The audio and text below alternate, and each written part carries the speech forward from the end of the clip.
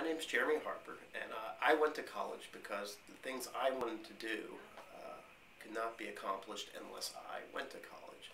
I wanted to be a writer. I wanted to learn more about writing, how to become a better writer. Uh, and I could do that on my own if I practiced, but uh, I really needed a higher education to do the things I wanted to do.